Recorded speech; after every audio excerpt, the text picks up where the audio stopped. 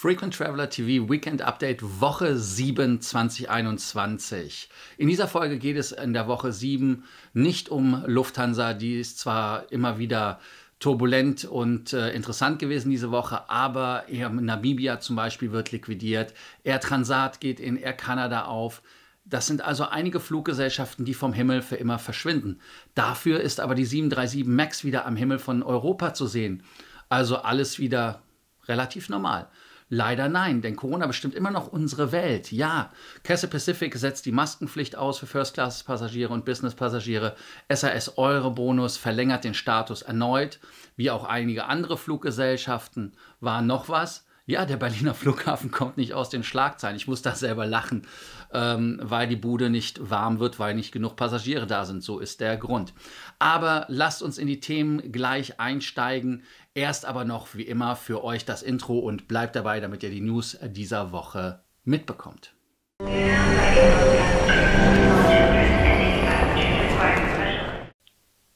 Mein Name ist Lars Korsten. Ich bin hier, um euch mehr Meilen, mehr Punkte, mehr Status zu bringen. Am Weekend Update geht es natürlich immer wieder um die News der Woche. Deshalb lasst uns da auch einsteigen, nachdem ihr einen Daumen hoch gegeben habt, Daumen runter gegeben habt, wenn ihr alle Beiträge gesehen habt. Vergesst nicht zu subscriben, damit ihr keine Folge mehr verpasst. Auch die Glocke anmachen. Aber lasst uns direkt einsteigen in die Boeing 737 MAX Thematik, denn die startet wieder in Europa. Ja, die ersten Ziele werden wohl Hamburg und Berlin sein. Und äh, es, es gibt halt die verschiedensten Gründe, warum ein Flugzeug gegroundet wird. Aber die 737 MAX hat halt wirklich über zwei Jahre jetzt am Boden gestanden, fliegt schon in Brasilien, in den USA und hat sich da auch wieder, ich sag jetzt mal, einen ähm, guten Ruf äh, erarbeitet, weil das Flugzeug wieder sicher ist, weil sonst wäre es in den USA nicht geflogen und würde es bei uns nicht zugelassen werden. Insofern hat die Boeing lange, lange gebraucht, um diesen Problem den Herr und den Gar auszumachen und Herr zu werden der Lage, das wollte ich eigentlich sagen. Und damit ist jetzt die Wiederzulassung des Flugzeugs ganz einfach da. Und das Flugzeug ist seit Januar wieder in der EU zugelassen. Im vergangenen Dezember, sagte ich ja schon, hat die Gol wieder zum ersten Linienflug abgehoben. Dann kam auch die American Airlines, die fliegt von Miami nach New York. Passagiere können flexibel umbuchen. Wie es aber in Europa sein wird, das ist eine gute, gute Frage. Denn wenn man den Betreiber sich anguckt, wer das Flugzeug einstellt oder anstellt, das ist die 737 MAX der tschechische Billigflieger, der nach Palma fliegt und der heißt ganz einfach Smartwings. Die werden gar nicht so viele Verbindungen haben und die haben auch keine anderen Flugzeuge. Das heißt, ihr müsst mit dem Flugzeug fliegen. Aber ich glaube ganz einfach, das wird ein sicheres Flugzeug werden. Nicht nur Smartwings wird damit fliegen, sondern auch Norwegian und Ryanair kommen mit der MAX wieder nach Deutschland, aber auch nach Europa. Den Anfang wird wohl Norwegian machen. Es wird auch Iceland Air übrigens folgen. Die will die 737 MAX unter anderem von Oslo nach Hamburg einsetzen und sie wollen auch von Reykjavik nach Berlin fliegen. Andere Fluggesellschaften wie zum Beispiel die TUI oder die LOT, die haben ja auch die Flugzeuge in der Flotte. Aber der größte Kunde Ryanair, die haben ja mehr bestellt danach, also Nachschlag genommen, 75 Stück, haben 210 insgesamt bestellt und auch wenn die Auslieferung jetzt etwas sich verspätet, die 737 MAX wird halt bei der Ryanair ein Hauptbestandteil sein. Ich weiß nicht ganz genau, wie die Fluggesellschaften damit umgehen, inwieweit man den Trust bei den Kunden wiederholen möchte, ob es da von, ja, von Seiten der Fluggesellschaft irgendwelche Packages gibt, aber es wird, wie ich schon sagte, nicht wie bei American Airlines laufen, dass man einen Flug später nimmt, der dann keine 737 MAX ist, weil die es einfach gar nicht anbieten können, weil sie gar nicht so viele Flugzeuge haben oder Umläufe fliegen. Ryanair will halt den Weg gehen, dass man das Flugzeug einfach umbenennt. Kann man machen, muss man nicht, aber ich weiß es nicht. Ja, nachdem wir uns äh, mit Ryanair und so weiter und der 737 MAX beschäftigt haben, gibt es auch interessante Neuigkeiten aus dem Bereich Flughafen. Tegel gibt's ja leider nicht mehr, aber dafür, das ist schade für anderen, von den anderen Leuten, ist es halt in äh, Berlin trotzdem nicht langweilig. Nachdem wir uns in Tegel immer wieder beschwert haben, dass da alles zu eng war, jetzt ist es nicht eng genug, weil wir keine Passagiere haben. Das heißt, die Bude wird nicht warm. Es gibt aber auch andere Flughäfen, wie zum Beispiel Charles de Gaulle. Da hat die Regierung den Flughafenbetreiber gebeten, das Projekt aufzugeben, Terminal 4 zu bauen. Warum? Ganz einfach, weil man in Frankreich damit den Klimawandel bekämpfen möchte und den Umweltschutz etwas mehr nach vorne bringen möchte. Deshalb soll dieses Projekt, was irgendwie um die 7 bis 9 Milliarden kosten sollte und bis 2037 nochmal 40 Millionen zusätzliche Passagiere aufnehmen sollte und 450 mehr Flüge ab Paris abwickeln zu können, ja, das soll einfach nicht passieren. Und da sagt man, man soll die anderen Flughäfen einfach, die in Paris sind, benutzen. Wobei man natürlich, wenn man Paris kennt, äh, es ist ein katastrophaler Flughafen. Die Gehwege sind äh, absolut katastrophal, verwirrende Strukturen. Ich weiß nicht, wie ihr es seht, aber Flughäfen wie Singapur zum Beispiel, die expandieren. Dubai expandiert auch mit dem äh, Dubai World Central, zwar verspätet, man hat es jetzt etwas auf Eis gelegt, aber nicht komplett tot gemacht. München hat die dritte Startbahn auf Eis gelegt. Im Moment macht das natürlich Sinn, weil die Passagierzahlen nicht da sind, aber in der Zukunft glaube ich nicht, dass das so sein wird. Dann auch noch eine interessante News aus dem Bereich der Etihad. Die Etihad hat bekannt gegeben, dass 100 Prozent der operativen Flugbesatzungen mit den offiziellen Gesundheitsbehörden der Vereinigten Arabischen Emirate sich mit dem Impfstoff ja auf vorderster Front durchgeimpft haben. Das heißt also, alle Flugbegleiterinnen und Begleiter sind geimpft und damit sollte es dann auf den Etihad-Flügen sicher sein. Was auch spannend ist, ist die Thematik, dass zum Beispiel die Fluggesellschaft ähm, aus Israel, und zwar ähm, El Al, wäre fast der Name nicht eingefallen, äh, sagt, dass alle Passagiere, die den Kunden sehen, also Facing to, so heißt die Meldung, auch geimpft sein werden in Kürze.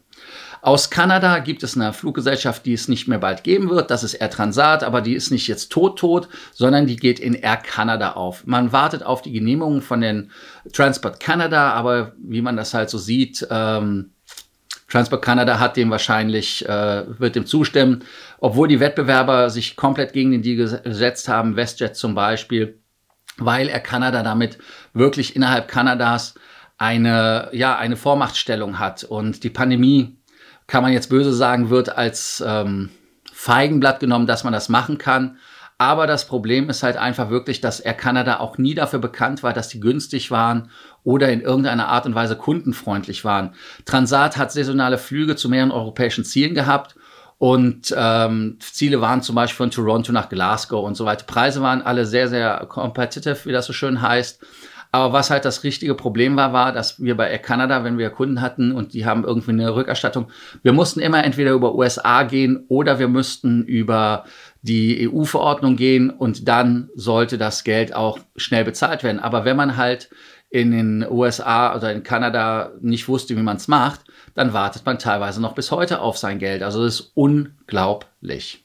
Eine andere Fluggesellschaft, die mehr tot als lebendig ist, aber anscheinend wie ein Phönix aus der Asche schießen soll, ist die Thai Airways. Also man hat zwar die Neugründung oder wie soll man das nennen, Umbenennung, ich weiß es nicht, also den Schuldenschnitt wahrscheinlich wäre jetzt der Fachbegriff, ähm, etwas verzögert, hat aber bekannt gegeben, dass man alle A380 und 747 Boeings ausflottet, weil Thai Airways befindet sich halt wirklich in einer kompletten finanziellen Schieflage, wobei man natürlich auch sagen muss, dass sie vorher auch nicht wirklich äh, eine Cash-Cow waren. Und ähm, ja, deshalb muss der 380er dauerhaft aus der Flotte mit der 747-400. Was das für die First Class heißt, interessante Frage, kann ich euch nicht sagen. Vielleicht wird man irgendwo wieder eine First Class einbauen, aber damit ist erstmal die Luxusklasse bei Thai Airways kurz- und mittelfristig tot. Das heißt also wirklich alle 747, auch die 330, 300er gehen alle weg. Und da die halt so einen ja, Gemischtwarenladen haben, ähm, gibt es jetzt halt wirklich nur noch die Fokussierung auf den A350, auf die 737 300, ähm, Entschuldigung, auf die 777 300. Wie kann ich 737 sagen?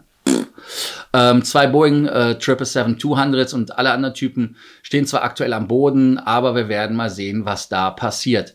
Also insofern sollte man eh äh, der 747-400 nicht bei denen nachweinen. Die war dazu verdammt wegzugehen, weil das hatte man ja auch schon bekannt gegeben.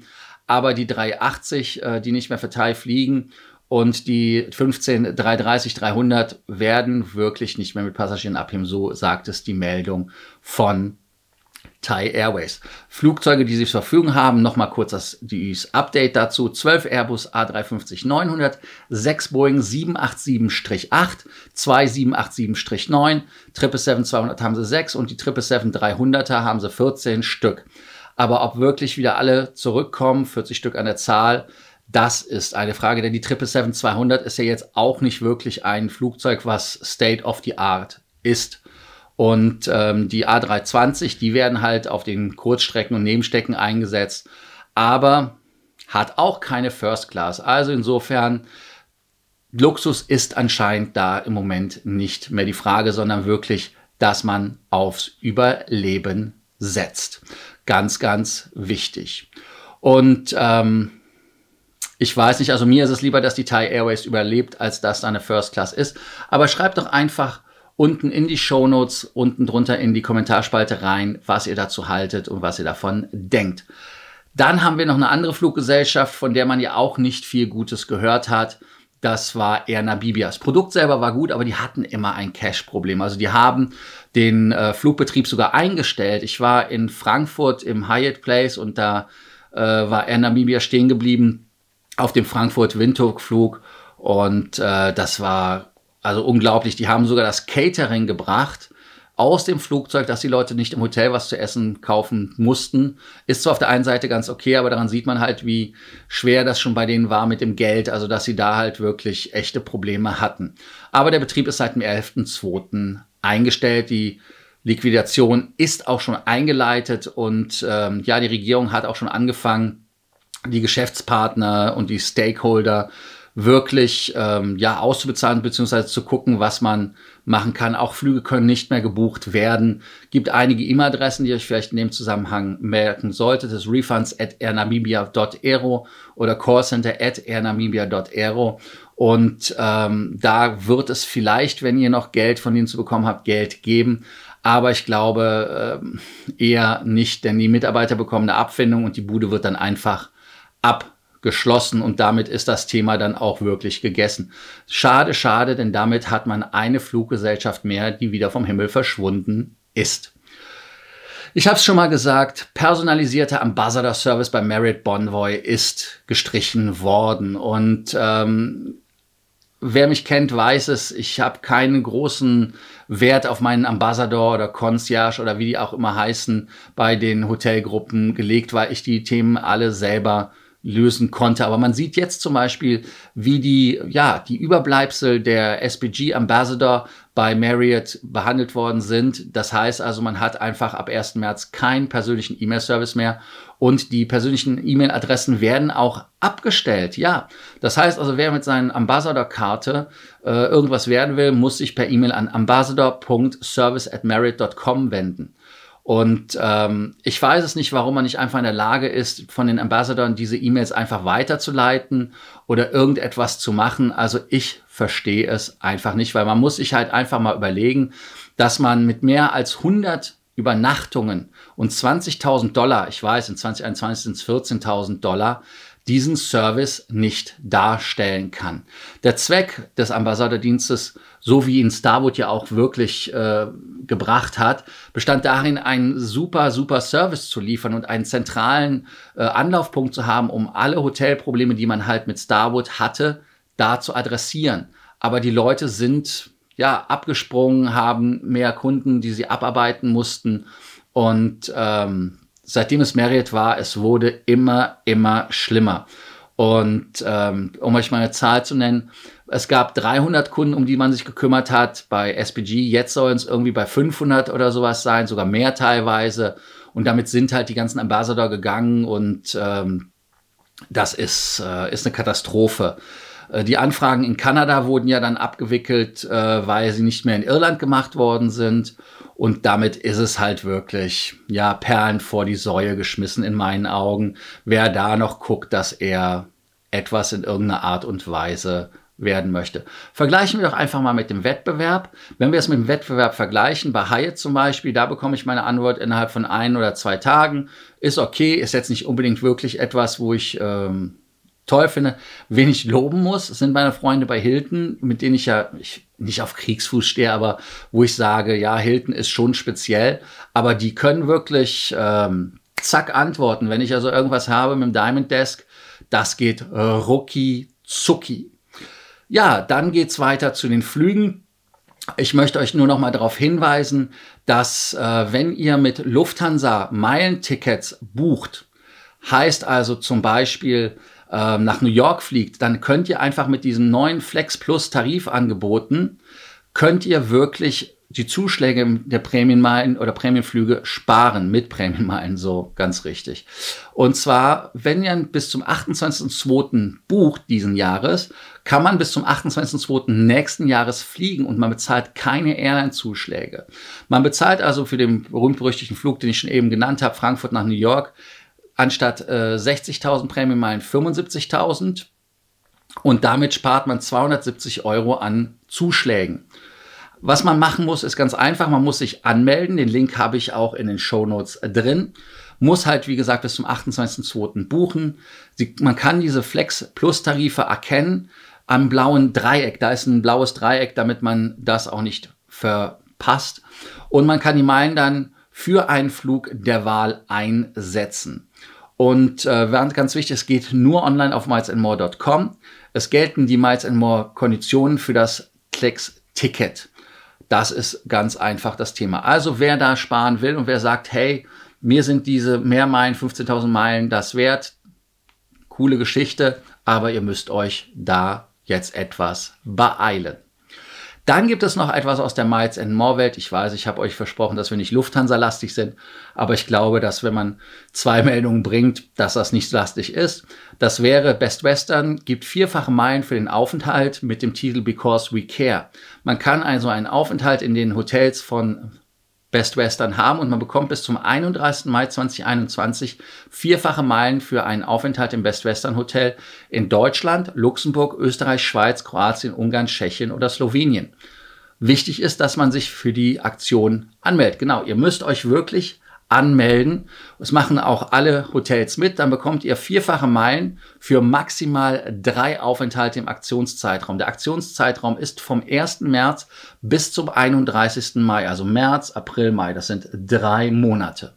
Das ist ganz, ganz wichtig. Es gilt auch nur für die Hotels in den Ländern, die ich euch genannt habe. Und es muss ganz einfach auch über die Best Western Seite gebucht werden. Wer also über OTAs, das sind Online-Reiseagenturen oder Online-Travel Agencies, wie das jetzt auf fancy Englisch heißt, äh, da gilt das nicht. Also Priceline, Expedia, Booking.com, Kayak, Travelocity, ach, ihr kennt sie ja alle, also das gilt nicht.